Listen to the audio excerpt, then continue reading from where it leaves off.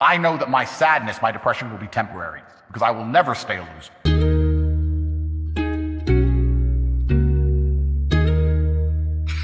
I just love continue with what you're doing.